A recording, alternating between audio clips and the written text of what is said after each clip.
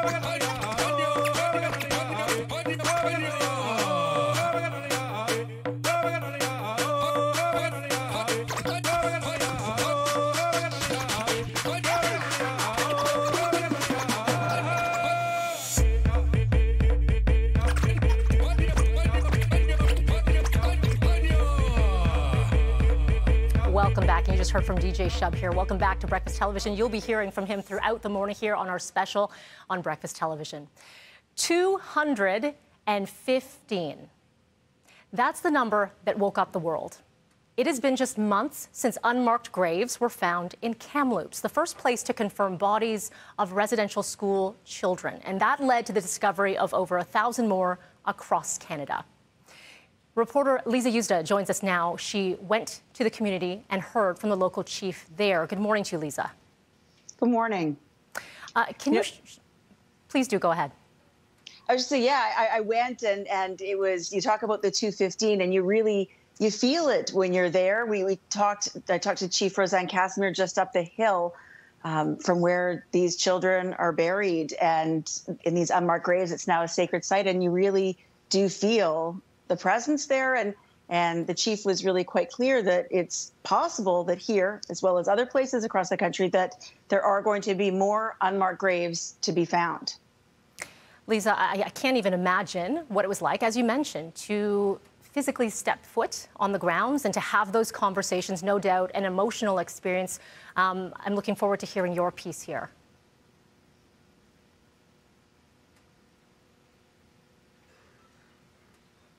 Finally there's actually something to, you know, provide and show proof that, you know what, the stories are real.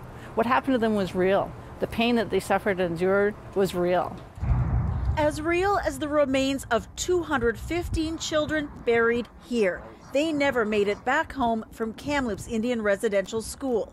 And that reality has lit an awakening in the rest of the country to the horrors of Canada's Indian residential school system. 150,000 children taken from their homes, their families, many to suffer physical, sexual, and emotional abuse.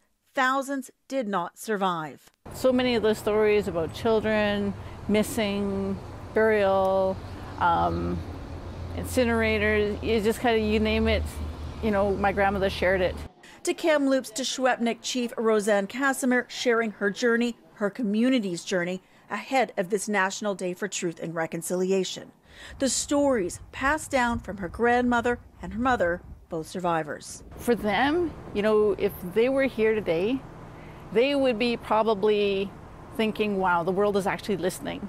Because until now, until the devastating confirmation down the hill behind her, the stories and pain laid bare time and again by survivors did not resonate beyond Indigenous communities. Right here at the Kamloops of Secwepemc, they knew the direct impacts, they knew the stories, they knew their stories, and they knew the missing children that didn't come home.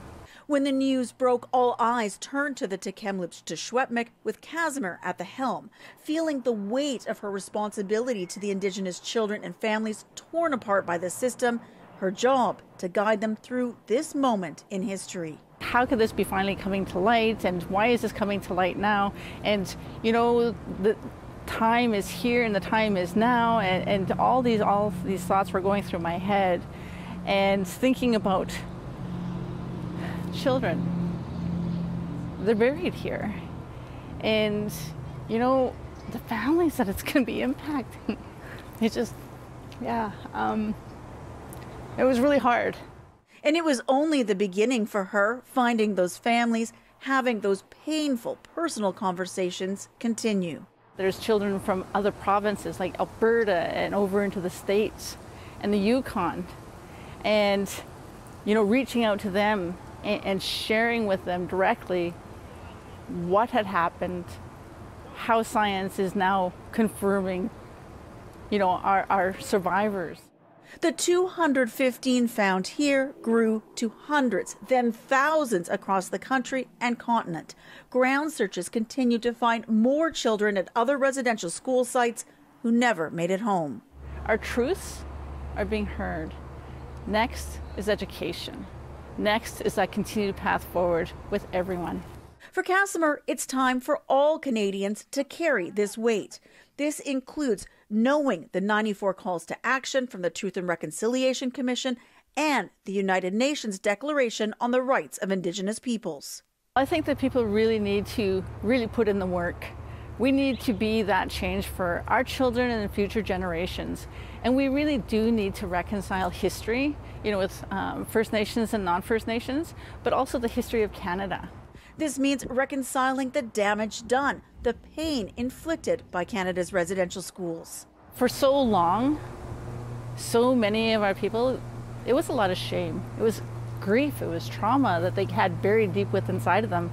And you can see it through the generational impacts that it has caused, especially when you've got loss of language, loss of culture, loss of, you know, um, malnourishment and all those different things, and their ability to be a parent because all those things were stripped from them. And holding leaders to account. Indigenous issues falling off the top of the agenda in this last election, despite the ongoing confirmation of children's remains. It shouldn't have to be a battle.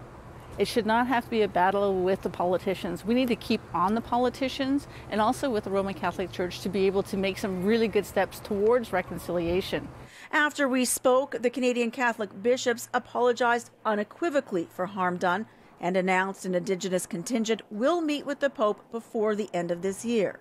While leaders do have their role in reconciliation, as much work sits on the shoulders of Canadians. Listening to um, survivors who attended residential schools and finding about and learning about the history of the residential schools is definitely also a part of that process moving forward.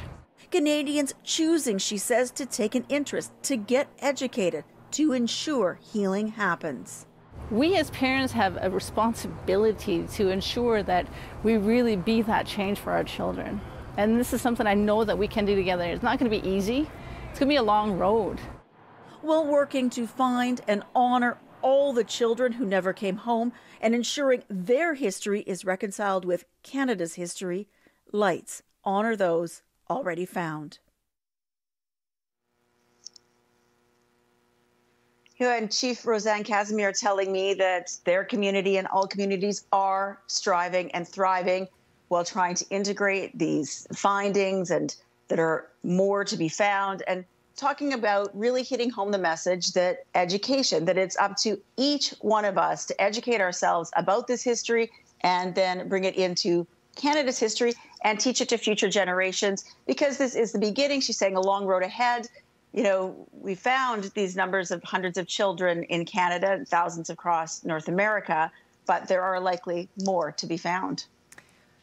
Lisa, thank you so much for this piece, and uh, thank you to Chief Casimir for the access, being able to hear Indigenous voices, and that's what's, that's what's so important for us to do, not just today, but always. So thank you for that. Appreciate it. My pleasure. Thank you so much.